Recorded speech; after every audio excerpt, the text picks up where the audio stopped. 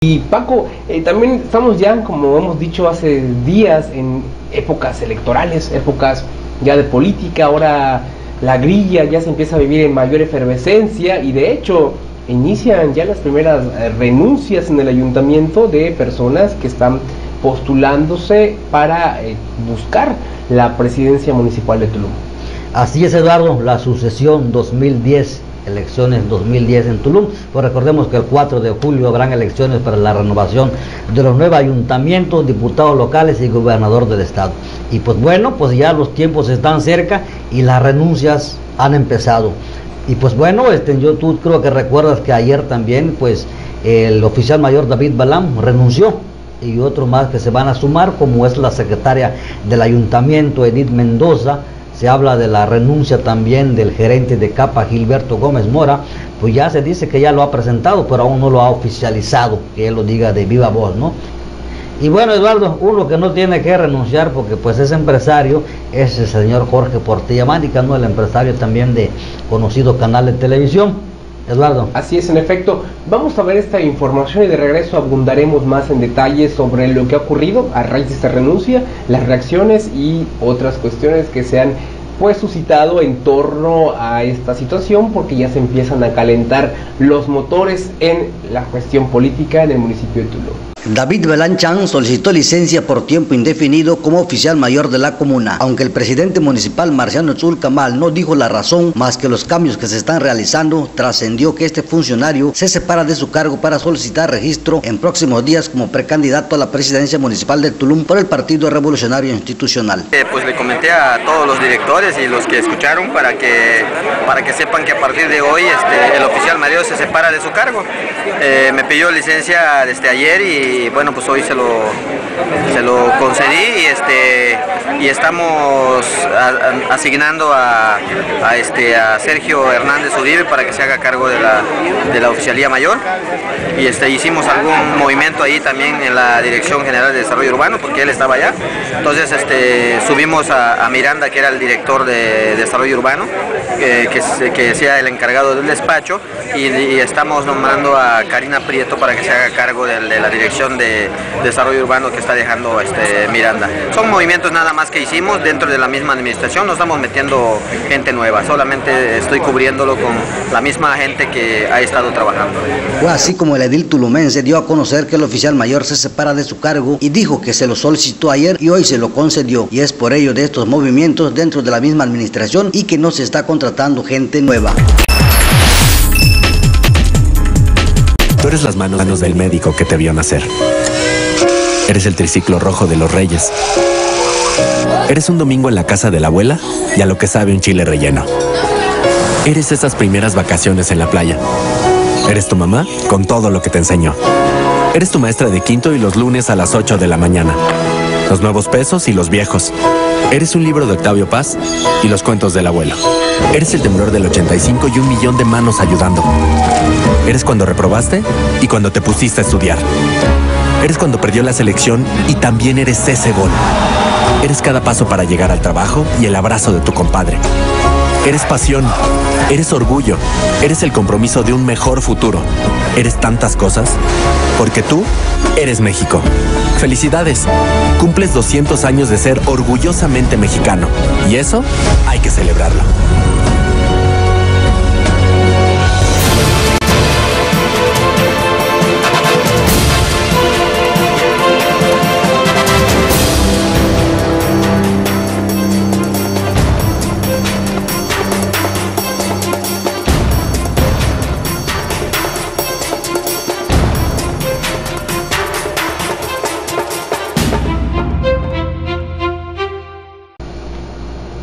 Pues ahí información. Eh, bueno, el hasta entonces oficial mayor del ayuntamiento, David Balán, presenta su renuncia y en su lugar lo sustituye Sergio Hernández Uribe, quien era el, director de Desarrollo Urbano y Ecología, quien se va a hacer cargo ahora de las funciones del oficial mayor.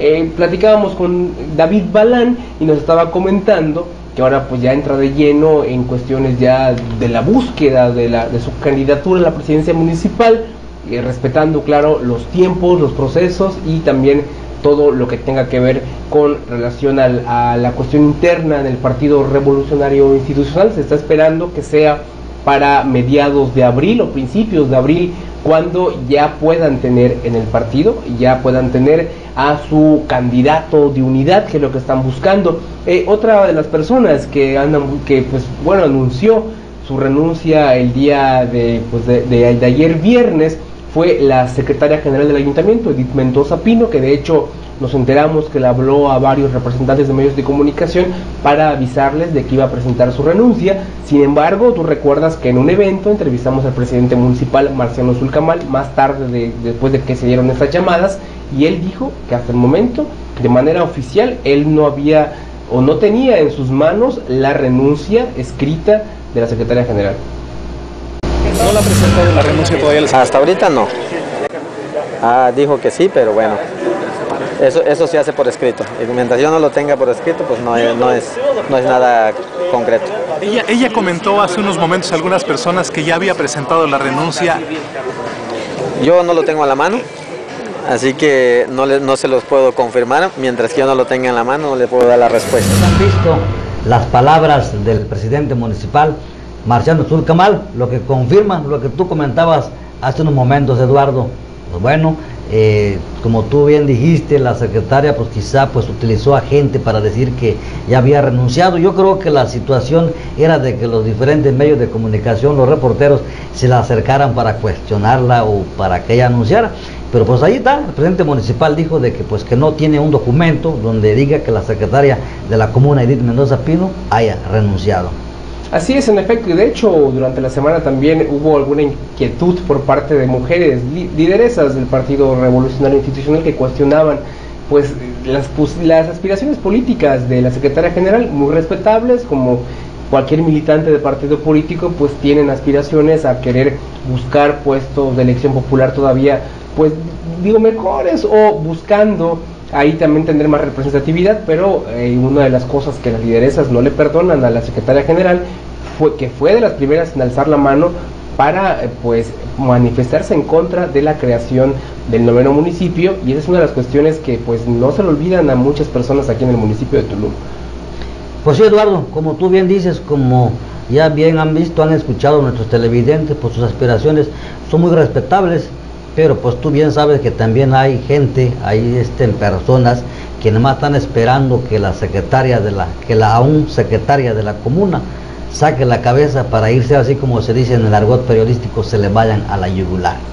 Así es, bueno, y como bien comentas, ella ha hablado a favor de, pues, de las cuotas de género, etcétera, y que, pues, insisto, vamos, o sea, ese tipo de, de pues, demostraciones a favor de, de, las mujeres y su acceso a la política, pues creo que son muy válidas.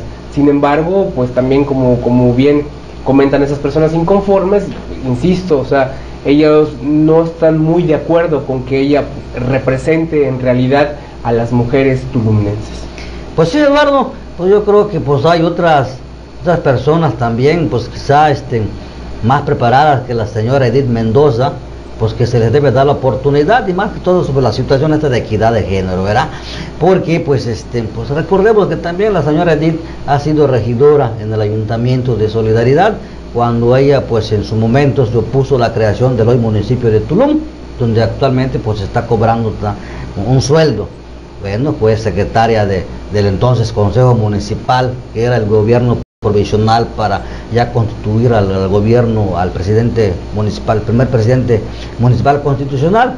Y bueno, se le nombró también secretaria de la comuna y ahora no termina sus funciones y ya quiere buscar, quiere asegurar tres años más, Eduardo.